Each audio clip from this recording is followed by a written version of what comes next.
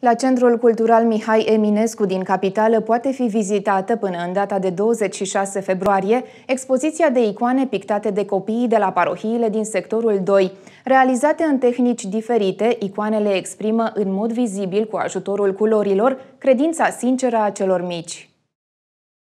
Lucrările au fost create de copii cu vârste cuprinse între 7 și 14 ani, care frecventează cursurile de pictură organizate în parohiile sectorului 2 din capitală. Cea mai mare parte a icoanelor expuse a fost realizată de copii care participă săptămânal la cercul de pictură Sfântul Eustație al parohiei Iancu Vechi Mătăsari, înființat încă din anul 2011 și coordonat de un membru al Uniunii Artiștilor Plastici din România.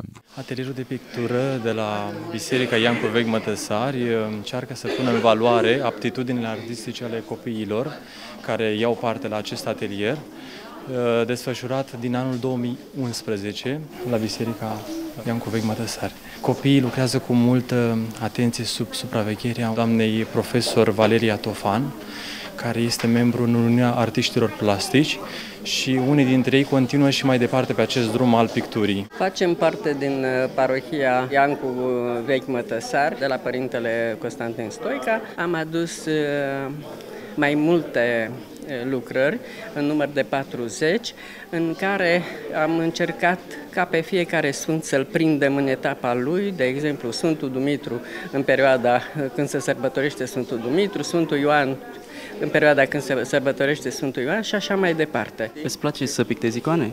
Da. De ce? Am ales să pictez pentru că am văzut că îmi place și am această pasiune. Ce reprezintă pentru tine icoana? Icoana reprezintă pentru mine ceva fin și delicat care trebuie lucrat cu grijă și cu maestrie. Am pictat o icoană cu uh, Sfântul Ioan. Ai mai pictat înainte? Am mai pictat pe pânză și pe carton. Copiii înscriși la atelierele de pictură ale parohiilor din sectorul 2 participă constant la concursuri locale și naționale, înscrise în calendarul activităților educative ale Inspectoratului Școlar General al municipiului București și ale Ministerului Educației Naționale, precum și la competiții și expoziții internaționale.